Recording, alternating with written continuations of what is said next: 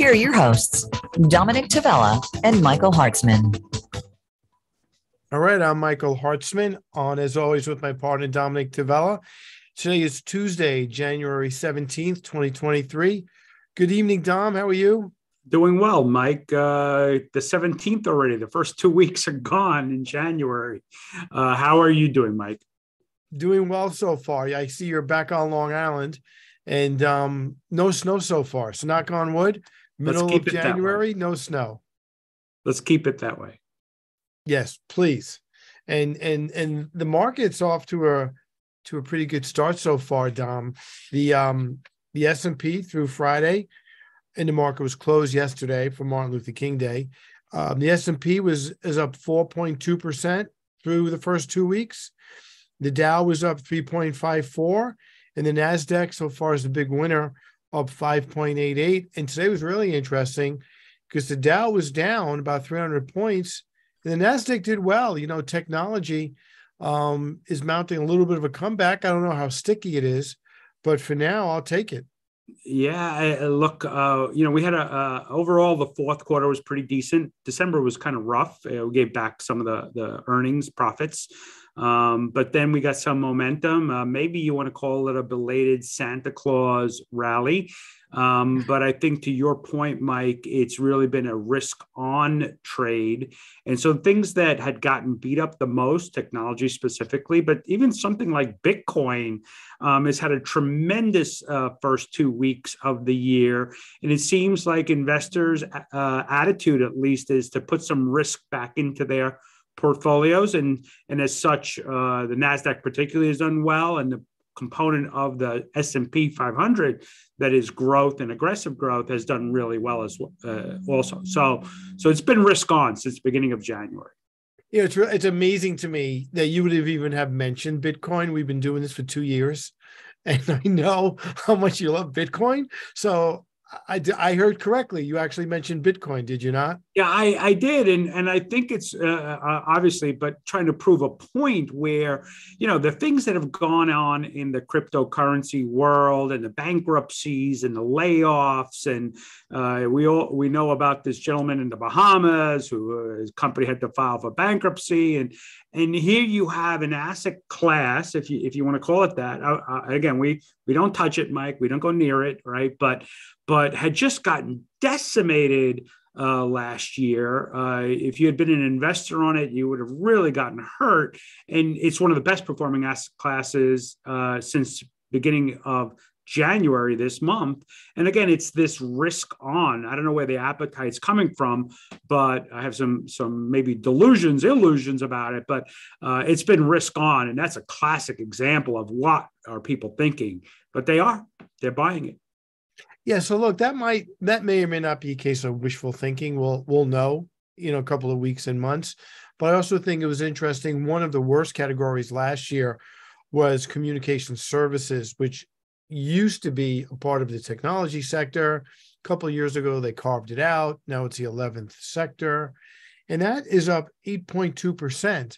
And last year, energy, as we all know, was the was the biggest winner. And you know, now that's near the bottom, only up 2.7. Um, every sector is up this year other than healthcare, which is basically flat. So overall, Dom, the, the market or the, the year has gone off to a better start. There's still going to be some headwinds. There's still going to be the recession noise and the stuff we talked about last week with John mckay from Schroders. But so far, so good. Um, you know, the year has has gone off to a good start. And you're right. I think you used a perfect expression.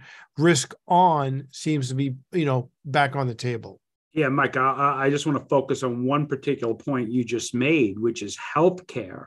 Uh, we have been uh, overweighted healthcare for at least the last 12 months because it's a very defensive I hate to use the word safe, but very defensive sector of the markets i.e., we're all getting older, we're all going to need uh, drugs, we're all going to need knee replacements, we're all going to need. So, healthcare, no matter what happens to the economy, tends to be a more stable uh, sector. Uh, earnings tend to be more stable. Yet this year so far has been one of the worst performing categories. So, safe, conservative, boring underperforming, and aggressive, speculative way, in my opinion, overperforming. And I think that really has to do with what the Fed decision is going to be the latter part of this month, the first day in February. Um, and there's some speculation there as to what the Fed's going to do, and the markets are acting accordingly. We don't know yet whether that's right or wrong, but certainly risk off in the conservative, boring stuff, risk on in the more speculative growth stuff. And a part of me kind of hopes you're wrong because if the market is simply going up again, hopefully based on what you know the Fed, what Papa Bear says, is not is not the background for a strong rally, Dom. Because if the Fed says something remotely disappointing, we wind up giving this all back and that's the scary part of this conversation. And, and, again, we, we're always brutally honest, Mike. We're not here to, to sugarcoat it, but we have seen this story before the last half a dozen times going into a Fed decision.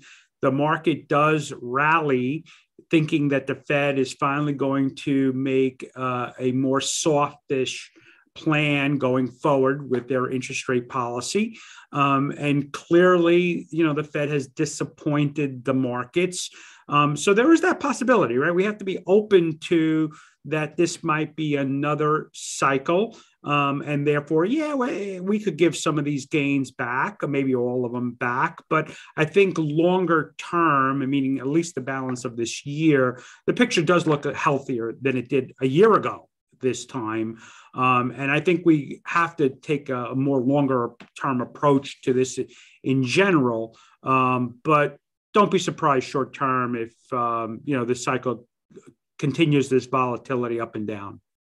You know, and, and from that perspective, I could not, I could not agree with you more. You know, long term, all of 2023, based on what we know right now, it does. We we we do believe that 2023 will be a better year simply because the things we worried about last year are either beginning to go away, come into focus, interest rates, inflation. You know, the last one obviously is a recession. The job market, we hear about the job market all the time. Um, and, and as those things, you know, one way or another start to resolve themselves, then I do think risk on for the long term is more sustainable because Dominic, I always maintain the tech sector is also very psychological. And if those big FANG stocks, right, whether it's Facebook or Amazon or Apple, Netflix or Google, if they're doing well, I just think overall, Dominic, investors are in a better mood. Well, uh, and let's remind people, Mike, those companies that you just mentioned are a big percentage, a big component of the S&P 500. They represent a very significant amount in total value of the mm-hmm. S&P 500. So it's very difficult for the S&P overall to perform well if that sector does not right?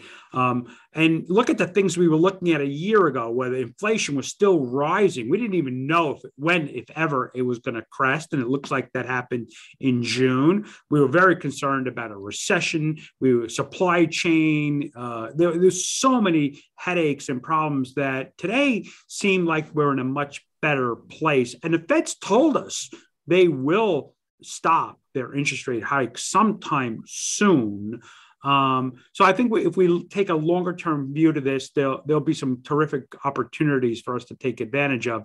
What happens in the next two weeks might be a little bit more volatile than the average person wants, but we'll get through this one too.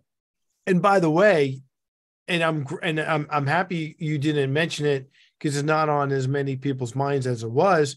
But last year at this time, we were also through this enormous second or third COVID wave I mean, the numbers last year at this time, people coming down with COVID was astronomical. And yes, they were not dying, thank God. They were not being hospitalized, but they weren't at work, right? And that obviously slows down productivity as well. And that, and that, although we having a little spike now, people aren't thinking about it and living their lives based upon it as they were a year ago. And Mike, just think that we didn't know the severity a year ago, right? The new mm-hmm. wave was coming in, and people were like, "Well, this will this one be worse?" You know, so so that we, a lot of unknowns are off the table. A new set of unknowns are coming in, and we have to think about and earnings, and a company's going to be able to grow their earnings, and unemployment numbers still going to stay relatively uh, low. Mm-hmm. Um, we, we, it's always a moving target for us in our world, um, but I think for for myself, I think you as well on the same page. He's telling clients, don't let the volatility frighten you. We're, we're through, I think, the worst of this. Um, and maybe if we did have some volatility, think of it as an opportunity, right? Think of it as an opportunity maybe to gather some assets, some shares of companies uh, at a discounted price that maybe down the road we'll be happy we bought them. Dom, we have a fun show tonight. We have Ty Burr who's actually a film critic and pop culture columnist for the Boston Globe for, for two decades, for 20 years. And now he writes the Ty Burr Watch List, um, which is a, a, popular newsletter for movie and TV recommendations. So tonight we're going to get into, you know, we always have to make it a little bit about business, kind of the business of movies. And then Ty also said if we wanted to, we could talk about some of the films that have been made over the years you know, are about Wall Street and about business. So um, we're really anxious to have Ty on tonight, and uh, you know, he get his point of view about all things movies and um, as they relate to what we do for a living as well. Yeah, a little change of pace, right? We can't always talk about PE ratios and sharp deviation and all kinds of wonky stuff, but uh, we'd like to inject some uh, some humor, hopefully, and and and some good ideas, and give people a different perspective. So we'll be right back with Ty. Com. Now, back to the Lebenthal report. All right, I'm Michael Hartzman, back with my partner Dominic Tavella and our special guest this evening, Ty Burr, the author of the Ty Burr Watch List, which can be found at tyburrwatchlist.substack.com. Good evening, Ty. How are you? I am well. How are you? Welcome, Ty. Thank you. Good to be here. Ty, since we are a financial show and we will get into some of the fun stuff, I just want to get into a, a quick business question about sure. you know the making of movies. You know, Dominic and I have been doing this a long time, and and and maybe 30, 35 years ago, investors will offer the ability to make an investment in a movie. Right. There were there were there were limited partnerships at the time and a, a, brokerage firm that's no longer in existence um, were offering these things. And they have what was called multiple write-offs, meaning right. if you invested ten thousand dollars and it failed, you could write off five times that expense. And ultimately, this fad, thank God, went away. But I guess my question is, when a a small investor is invited to make an investment in a movie, what's the likelihood of them ever making money on that on that movie? Nil. thank you. Yeah. Ty, thank you. Thank Ty, you. Why don't you tell us what you really feel? I would say that, you know, every now and then you get a you know, because that level of filmmaking um, is is independent. It's not, you know, the studios aren't going around shaking down small time investors. Um, for that kind of movie, that kind of small independent movie to break out, to become a hit at Sundance, to become to pick up a real distributor, to get to theaters, um, or these days get to streaming, it's difficult. Um, you know, it can happen. Last year, this movie, you know, the movie that won Best Picture last year, Coda. I don't know if you ever mm-hmm. saw it. Um, the one about the deaf family in in, in uh, Gloucester, Massachusetts really sweet little movie, tiny little movie. That one, you know, if you'd happened to have invested in that, you would have done okay. Um, that is so far the exception to the rule that um, I honestly, when I listen to that that idea about you know you can get five times the write off, it's kind of like the producers. You know, it's, it's more in your interest to produce a movie that's destined to fail. So springtime for Hitler, bring it on. Yeah, 50, everyone got fifty percent of the profits. right. All thirty-three investors. Um, but but you know we see that on a larger scale, right? Whether it's the Disney's or the Netflixes, they're they're trying to make these movies and actually make money on them. It's incredibly difficult for any of these firms to actually make money on them, right? Right. But if, you know, the, the, the gamble is, and this is why studios existed and why they still exist, is that one or two big hits can cover your losses. Um, so, you know, Paramount comes out with Top Gun 2 Maverick, you know, I, I one out of every 10 movie theater tickets sold in 2022 were to that one movie. Wow. So that will tell you a how depressed the box office is still uh, after three years of pandemic, but also how how powerful one blockbuster can be. And so, can I expand on that, Mike? Just for yeah, go ahead, please. Oh, only because I watched that movie literally sitting in an airline seat on the back of somebody else's head, and the sound was really terrible. But Not there's the so many different avenues now for these companies to get the product out there, right? Whether it's Correct. streaming and uh, uh, uh, Netflix or or uh, their uh, theaters, obviously. Uh, so maybe you could talk a little bit about all these different revenue sources or ways they can try to make money off these movies. Yeah, well, one of the things that the um, that the major studios and really the major corporations that now have a studio in their portfolio. Um, the one of the ways they're they're making money, and they've really sort of turned their attention to this in the last three, four, five years, is streaming platform. And every major studio, every major corporation has started its own streaming platform because they've looked at the success of Netflix and Amazon Prime, and they look at all this content they own. And it's like, why aren't we getting into that business? So now you've got, um, you know, Paramount Plus, and you've got the Peacock network, uh, network which is Universal. Um, you've got Disney Plus, of course, and HBO Max, which is Warner Brothers.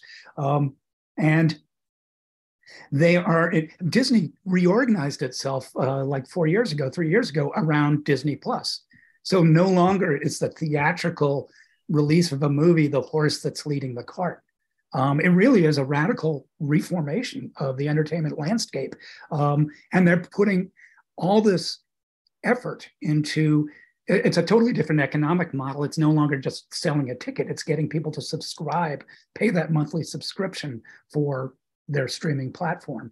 And it's really changing A, the kind of movies that get released, where they are released, how they get released, where you see them. Um, and right now it's it's a total mess. Everybody's nobody knows anything and uh, and I think the audience, the consumer, um, is terribly confused uh, by all these options, and, and, they can't afford all of these different channels. Um, and I I predict a shakeout. I predict a consolidation. You know, maybe we'll go back to three networks or some version thereof. So you mentioned Hulu and Netflix Ty. Yeah. And one thing I've always was curious about are they are they truly putting up like I'll use the the, the film The Irishman, which came out mm-hmm. came out right before the pandemic with De Niro and Pacino. It was a big budget movie. Yeah. I um what uh, are these streaming services doing all the backing on those productions or or do do, do they have the backing of other investors because i can't imagine you have enough subscribers to pay for many of those huge blockbuster productions like that yeah, but but uh, they're not paying for the blockbuster. They're paying for the service. They're not. You, know, you have to remember they're paying a monthly fee for everything. Um, and Netflix is just making crazy money when you consider how many people are paying that $14.99 or $4.99 or whatever tier you're on. Um, so yes, they have money to throw around, and there's two ways that the streaming platforms who are doing this, who are putting out original uh, content, um, are getting it. They're either picking it up at film festivals, um, like that movie Coda that won the mm-hmm. Best Picture, that showed at the Sundance Film Festival a year and a half ago, or actually uh, two years ago now, and um, and uh, Apple Apple TV picked it up, and so it showed there, and and they marketed it as an Apple movie. It wasn't. It was a pickup. Um, on the other hand, uh, Netflix, which again has crazy money, did in fact bankroll The Irishman um, and did in fact bankroll a movie, uh, Roma, the Mexican film that was up for a bunch of uh, Academy Awards. And they know that those movies are not going to get big audiences. Um, they're almost like loss leaders. They'll get press. The critics will like them. They'll get attention. They're they're, they're brand, you know, polishers. Um, and the the Irishman, I would actually argue, which I think is a very good movie, but not a, a movie to watch at home because it's very slow on purpose and very character oriented on purpose. And if you're looking at your phone and getting up to take a leak and you know, doing whatever, it, it's going to break the spell. That's a movie you need to see in the movie theater. Nevertheless, I also think Netflix has been burned on those and is starting to back off. And they've publicly said we're we're not going to be spending as much money on original movies as we were. So, Ty, and a comment made earlier with the con- consumer is confused, right? There's so many services now and so many subscription fees. And we saw it, you know, in the pr- price of Netflix stock, which last year lost some 60, 70%. The price of Disney stock, hmm. the stalwart Disney, I think stock was down, what, 50%, Mike? And yep. I can rattle off another half a dozen where, right. uh, you know, the consumer's getting going enough is enough. I can't afford it, or I'm not spending three, four, five hundred dollars a month on services. Uh, what do you see as the future here? Yeah, and 2022 was the wake up call for the streaming revolution. It was a kick in the pants. Um, Netflix had that quarter where they lost subscribers, which you know was unheard of, and and and their stock tanked. Um, what do I see as uh, you know we're at the we're at a period where nobody knows anything. That wonderful sort of period where the technology is there, but nobody knows what works. It's like the beginning of the sound era, you know, or when TV first came in. Nobody knows what the golden you know formula is. Um, I do foresee a consol- a shrinking, a consolidation within the individual streaming platforms. They're not going to be bankrolling as many TV shows. They're going to be you know doing more pickups maybe of content that's already made. Um, they're um, they're going to be pulling in their heads a little bit. But the larger issue is I don't think there's a market out there for all these different services. And I don't know how that's going to shake out. I don't know who's going to cry uncle first because these are deep pocketed corporations and they know that there is, you know, um, if you can get a couple of million people paying that monthly, you know, it's free money. And and also aren't all these net aren't all these streaming services challenged to get content and get and get talent to work for them because meaning good content. Yeah, right? Be, be, because you know you, who who are the movie stars now? Because the movie stars have options now to maybe make the I don't know if they call mini series, but you know these these these longer seven, eight, nine episode shows that I think have a little more runway to be successful. Right. Um, and, you know, one of the, the great things about the last 10 years is you know it has been a golden age for tv the quality of writing has been astonishing. The quality of, of you know the shows the directing the acting all of it, to the point where you know back when you and you guys and i were young tv is, was where movie stars went to die basically. It's mm-hmm. where you know when your career was over that's what you'd go do a TV if you did a tv series you would die. Right. Uh, uh, you know and collect your res- residuals and go retire and that's not true anymore. If anything the game has changed movie stars don't have the clout that they do, in part because the studios are selling franchises, they're selling intellectual property. So Thor is a star, not Chris Hemsworth. Um, you know, uh, and Tom Cruise can sell a movie if it's a Top Gun movie. Um, and Steven Spielberg can sell a movie in a big hit in theaters if it's Indiana Jones, but The Fabelmans, which is a great movie, nobody's going to see it in theaters. In part because it's uh, uh it's an older appeal movie, and older viewers are not going to, to the movies nearly as much as they used to. You know, you you said something which I and we're we're all bumping against a break, but you said something just now which really crystallized, you know, the the, the superhero genre, where in the last Spider-Man, the old Spider-Man showed up. Yeah, those right? are the stars, right? But only right. within that little frame, right? Which is kind of like making making fun of themselves that they're not the stars. Spider-Man's the star. That's right. That's right. Exactly. It's it's and it's it's got to be tough for for actors. Um, you know, who's the star anymore? I'm refreshed to know, hear that Tom Hanks, the movie that he just came out with, A Man Called Otto, is actually doing quite well in theaters. Um, so you know, maybe he's the last star. I don't know. I read the book, The Man Called Ove, and I yeah. love the book, and I can't wait to see the movie. But look, we're bumping up against a break. We're going to take okay. a quick break, Ty. And when we come back, let's talk about some Wall Street and business movies that that that, that you enjoyed. Okay, sounds good. We'll be right back. Now, back to the Lebenthal report. All right, I'm Michael Hartzman, back again with Dominic Tavella, my partner, and our guest this evening, Ty Burr, author of Ty Burr's watch list.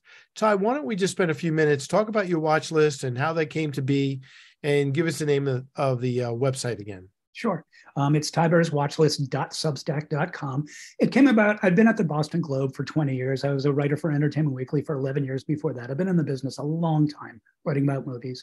And about a couple years ago, I started realizing that the way that the media, meaning newspapers and magazines, covered movies was no longer the way we watched them. Um, and there was kind of just a disjunction between when a movie came out and when it was reviewed and when people actually started seeing it on demand or wherever. Uh, and the other thing that occurred to me was that everybody has Netflix. A lot of people have Amazon Prime. A lot of people have Hulu, HBO eh, Max, um, whatever, Apple TV. Nobody all has of, all of the above. Yeah. Or all of the above. And nobody has any idea what's on them, um, aside from whatever the top tier is when you, you know, on the home screen. And they need some guidance. And there's, you know, they have a deep, deep bench of content.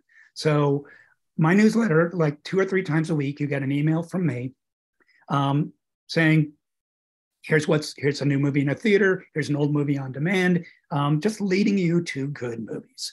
Uh, and I've had pretty good success. I've got tens of thousands of, of subscribers. It's free. If you pay, you get um, uh, some extra content and the ability to comment and join the conversation. And um, it's been really fun turning people on to some good movies below their radar uh, that they you know, it might have may have just come out, that but they might not have heard of. Um, did you know there was a new Fletch movie out? No. no. Okay, with Jon Hamm from Mad Men. It's called Confess Fletch. It was released at theaters and, and not even marketed, and then went straight to home to video on demand. It's really good. I recommend you you check it out. It came out about I don't know five months ago. Mm-hmm. It's really funny, and Jon Hamm has a has a blast. Which ser- Ty, which service? Um, I think it's available. You know, hold on, I'll check. It's it's available on multiple services, so you can rent it for like two ninety nine or something. Here, I'll, I'll, check. There's a wonderful site that you you and your listeners should know called JustWatch.com, and you plug in a title and it tells you what service it's on. Oh, that's helpful. Yep. Um, Confess Fletch is yeah, it's streaming on Showtime but you can also rent it for 10 bucks on Amazon, Apple TV, a couple of other places, YouTube. All right, thank you. Thanks for the recommendation. Sure. So let's talk about some Wall Street and some business movies. Um, so, and can I just finish quickly? Yeah, so I'm sorry. That's what I'm doing. So, if you go to tyburrswatchlist.substack.com, you can sign up for it, and you'll start getting the emails. That's it. That's that's my plug. I I, I apologize. No, um, not at all. So let, let's let's talk about some of your favorite or or not so favorite um, Wall Street slash business movies. I was thinking about this, and that's a good little genre, and it goes back a while. Um, you know, uh, I think in the last twenty years we've had this a, a run of just good Wall Street business movies that play up how nasty the, the game can get. Um, you know, and I'm I'm thinking of you know The Big Short. I'm thinking of The Wolf of Wall Street, obviously. Um, Wall Street goes. I mean, that that movie's now how old? That movie's like and a classic. Yeah, it is. It is a classic. But you know, uh, Boiler Room. Remember Boiler Room with an mm-hmm. early movie for Vin Diesel about uh, the you know, young traders. Um, there was a really terrific movie that came out of the. Um, not the only good thing that came out of the 2008 meltdown. Uh, a movie called Margin Call I don't know mm-hmm. if you guys have seen that uh, with Zachary Quinto about literally the night everything goes to hell. Um, it's got a really terrific cast. Um, and then, you know, it's actually the subject makes for surprisingly good TV and TV series. And I'm thinking of um, shows like Billions. Billions um, is a really popular one in Succession. Exactly, exactly. Um, and then some of it based on real life characters. Wink, right? Wink. Uh, and oh, then yeah. you get The Office, which is yeah. sort of like the the flip side, the satirical flip side of of, of business. Um, there's a lot of good stuff out there, and and I was also thinking that we've had the last year or two, we've had this really interesting run of startup scandal series. Um, uh, WeCrashed about uh, the mm-hmm. WeWork people, um, the dropout about Elizabeth Holmes and Theranos, uh, and super pumped about the guys who started Uber. Yeah, yeah, watch that one. Yeah. Um, I, I don't know. What do you think it is that makes people want to watch, you know, basically business failure, high profile business failure. You know, to me, to me, they make these characters so unlikable. Hmm. Right. And and and the other part of it, which would be a little frustrating for us, is some, you know, they, you know, they cut a lot of corners, obviously, and some of the descriptions are not, they're just not realistic. So I'll give you an example. Yeah. In Ozark, Marty is a stockbroker. He's a, he's, he's a stockbroker before he becomes this mastermind criminal. And and in one scene, he's trying to convince someone to transfer their account to him. And he gives them like two sheets of paper to sign. And next thing you know, it's Marty's account. And I'm watching with my son. And my son's like, that's not how it works. You can never get, you know. So, so we have to, I guess, like a medical show, if we were doctors, have to take a step back and realize that they're not really, they're dealing with the premise, but they're not dealing with reality. Right. It's more about, I think, cult of personality that makes them popular. Right. It's the characters, and it's and in the case of Succession, it's people you love to hate. Uh, and uh, you know Yes. what I love about Succession is, you know, everybody has their character who they kind of love hate the most. You know. And, I mean, obviously the characters are larger than life, right? Uh, in some cases, but you know, you think about it, and uh, I think Mike is spot on. We have clients coming back and like, well, it happened on billions. Why can't you do it? Like, well, the my God. world doesn't really work like that. At least, at least not for us. You know, we tend we tend to be in a little bit of a different league. Uh, we don't run a hedge fund, but but you know, the average person out there hopefully enjoys it, but uh, hopefully understands that not entirely based on reality or, or uh, it is there for entertainment purposes, right? probably not. Like michael says you know I, I and i know this you know doctors look at medical shows or med- medical movies and goes it's not like that. I know as as a journalist you know i look at spotlight you know which is a movie that actually took place in my newsroom the newsroom i worked in with people i know. And i wrote it's not like that. Um, it's you know it's always got to be dramatized. It always has to be streamlined. And and I, I guess I guess the last the the the, the last example, it, well not not the last example, but would would you consider a movie like uh, a Nine to Five, which is a which is a comedy? Would you consider a movie like that a um, a business movie or Yeah. or not really? Yeah, no, there's office place comedies and office place satires. The Office, obviously, Office Space, the movie, if you've ever seen that, you know that that is the ultimate office satire. Um, and I think Nine to Five, for its time and place, absolutely falls into that. Um, and you know, there's there's a history of it. Have you ever seen The Apartment with Jack Lemmon? Yes. Yeah. That to me is maybe that's like the first modern business movie about the modern. You know, it's, it's like the first office space um, where you are looking with a very jaundiced eye at that office hierarchy and what you have to do to get ahead. And in Jack Lemmon's case, have to give away his apartment so his, his superiors can go have their afternoon affairs in. You know, Ty, I, I realize you know movies like The Wolf of Wall Street or the The Big Short. I mean, they're they're in, in I think both movies tried to tell a really true story, but it, they Mhm. also painted Wall Street in general in a very negative uh, way. Do you think that it affects people and their investment attitude and what their beliefs are about Wall Street? And is it a fair system? Um, in the same way, you're never going to get a, or rarely going to get a, a feel good hero film about a lawyer. Um, you're probably not going to often get a feel good hero movie about a hedge fund manager.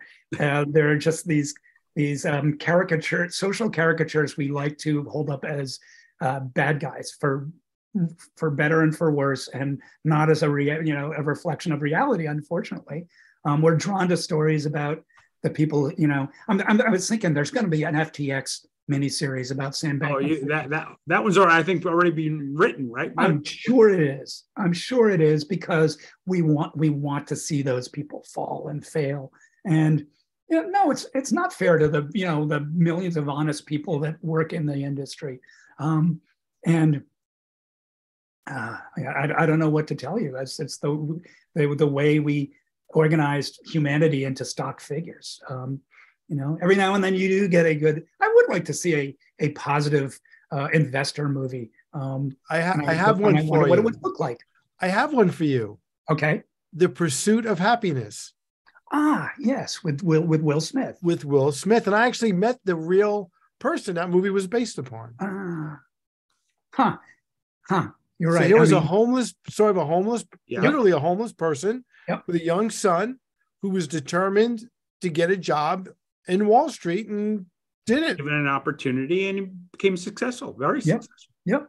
Um, yeah, okay, that's good. And it's one of the few ones. One, you know what just occurred to me? One of the business movies I've seen, or a movie about a businessman that could villainize him more, but actually kind of plays a really interesting line down the middle is, is The Founder, which is about Roy, Roy Kroc, Ray Kroc, um, uh, who of McDonald's has played by Michael Keaton. Mm-hmm. It's a movie that came out about, I don't know, 10 years ago. Um, and it really is about how he was this traveling salesman who saw what the, the McDonald brothers were doing and just came in and took it over and took yeah. it over from under them in ways that kind of was not great for them. And the movie is interesting in that it kind of looks at what he does and says it was pretty reprehensible, but it's also kind of the guy was a great businessman. Um, and that's a really interesting tone it strikes. It's a very good movie, and I don't think a lot of people have seen it.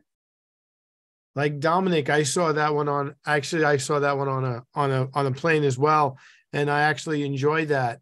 Yeah. Um, let me let me ask you this: the the um classic Orson Welles movie, Citizen Kane. Mm-hmm. Would you mm-hmm. consider that a business movie or not really? Oh yeah, absolutely. I mean, in the same way that Succession is a business movie, they're both about media tycoons. Mm-hmm. Um, you know, one's basically a, a, gloss on William Randolph Hearst, and the other is a sort of fake um, uh, Rupert Murdoch. But they Oops. are about they're both about the personal life of somebody with immense business power um, in ways that show how hollow that life is. And again, you know, true or not, it's a story we like to hear.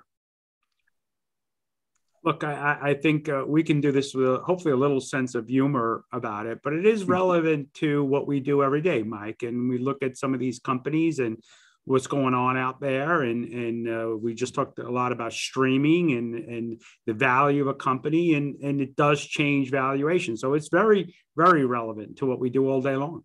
It is. It is, and, and I find very interesting. What do you guys think of um, the situation with AMC theaters uh, or two years ago now? where they were kind of being they were go, heading toward bankruptcy and they were bid up almost as an internet prank. Um, does, so, does that? Yeah.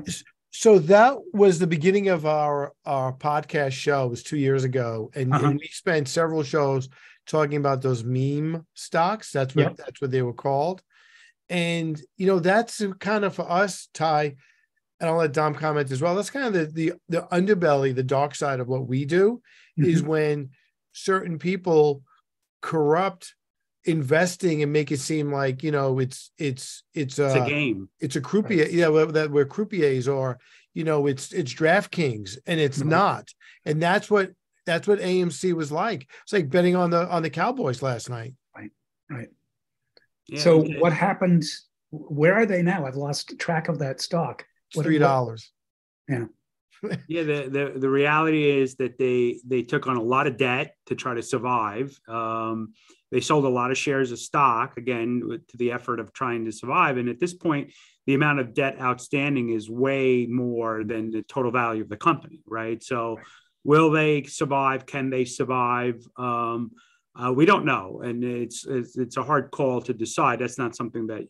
um, myself or Mike actually do, but it speaks to this idea that that these companies, and we we mentioned Netflix and we mentioned Disney, but this is another one that valuations matter based on real revenues. Yeah. Right. Not make believe fantasy numbers. And the reason Netflix, and you brought it up, dropped in value is because the number of people subscribing to their services drop. Same thing with Disney. Their their subscription service hasn't gone quite as well uh, as they had hoped, and the company you just mentioned has had other issues and difficulties. So valuations matter, but they matter based on what the company real revenue uh, or subscription uh, levels are. Right, and the theatrical, the brick and mortar theater multiplexes are in in a, in a hard place because I actually was just reading a report that came out today that uh, older audiences are just not coming back. Um, and that you know this year's box office I think was sixty percent of um, pre-pandemic levels. But again, as I said, one out of every ten tickets went to one movie, and mm-hmm. that's not a sustainable business. And and AMC theaters, I know I know on Friday they're releasing a movie that will only play in theaters. Um, it's called Alice Darling. It's got Anna Kendrick. I think they're aiming it at at um, Gen Zers and millennials. And I don't know if that's a good business strategy either. It's just like we're the only people that have this movie, but it's got to be a big enough movie to really move the needle. And I'm not sure that that is going to do it. And I just want to be clear to our listeners. I just checked where you were speaking. The stock is six dollars for some reason, mm-hmm. but but I guess the point is about marketing to Gen Zers is they're the ones who are still going out and you know have less fear about COVID. So maybe there is some logic you know, they're, they're the ones who are going to the movie theater anyway, so might as well just market to them. Right. Right. Um, and, uh, yeah. Sorry about it's, the 30 second commercial Ty, but when I hear making a market call on a, a Disney or a Netflix or uh, AMC, what we're saying is that valuations, values of these companies, stocks in general, normally are tied to some kind of a revenue stream. And the Correct. reason why some of these companies have faltered or, or the value of their stock has dropped is, I think, directly related to that revenue stream. Correct. Yeah. And the, Ty, the, coming back. The time flew by. Um, we are at a time. Why don't you give us that website one more time? Spell it out for us Sure. Um, so our listeners could subscribe if they'd like to. It is tyburrswatchlist.substack.com, T Y B U R R S W A T C H L I S T dot substack.com. Um, and you can sign up for it for free. And like I said, you'll get um, uh, an email pointing you to some good stuff, hopefully. Ty, we enjoyed this conversation. This thank, thank you. Thank you, guys. It's been a pleasure. We'll be right back after this. Now, back to the Lebenthal Report. All right, I'm Michael Hartzman, back with Dominic Tavella for a quick wrap up. So, Dom, two weeks ago we had uh, Muppets in Moscow, and and tonight we had a real live movie critic from the Boston Globe. So I'm glad we're able to bring you know various content to our listeners and clients and and tie it back to what we do, I, I think it's important. Yeah, Mike. I, again, we can we can joke about it. Maybe a little humor is always good, but the Muppets was about international investing and how everybody on the planet needs. Uh, you have to have money overseas. You have to invest overseas. You have to include international as part of your portfolio. But look at the perils that one has to overcome. And tonight, oh my God, this company is cheap. That company is cheap. Look how much it's, it's sold off. Well, there's a reason why these companies sold off. And there's a, the confusion in the consumer market today in streaming is really huge, Mike. I think it will settle out, and I think it has to. There are too many services charging way too much. And at the end of the day, there'll be winners and losers, but there's a real reason why some of these stocks are down 50, 60, 70% from their all time highs and there's look there's too many choices right and in movies now I remember when, you know, HBO and, and Showtime came about, you waited at least nine months to a year for a movie to go from the movie theater to television. Now it's it's either simultaneously or straight to streaming. So the whole the whole um the Business whole model, model has changed completely changed. And look, uh, the streaming services are one discussion, but what does it say about movie theaters and how often will the average person go back to a theater? And i'm not saying people will never go to a theater again but will they go off as often? Um, that that's a really important question going forward. I think dominic i think as long as this pandemic is hovering um, look i talk to clients every day and they'll say to me i'm not going out or i can't get my spouse to go out. They're not going to restaurants. They're not going to restaurants, they're not going to malls. Guess what? They're not sitting in a petri dish of a movie theater with with you know 80 strangers for three hours. It's just not happening. Uh, look, uh, there's obviously some of that going on, Mike. But look at you know, from I look at myself and my lifestyle and the convenience of being able to sit in front of my own TV, big screen TV, and watch a movie. And all right, maybe it doesn't have the sound quality, maybe not quite as large a screen, but you go, you know what? I'll, I'll live with it. I'm good. I, you know, I, I don't have to get in a car. I don't have to drive anywhere. I don't have to sit in a movie theater. The convenience factor, maybe the quality is not as good, but I'll live with that.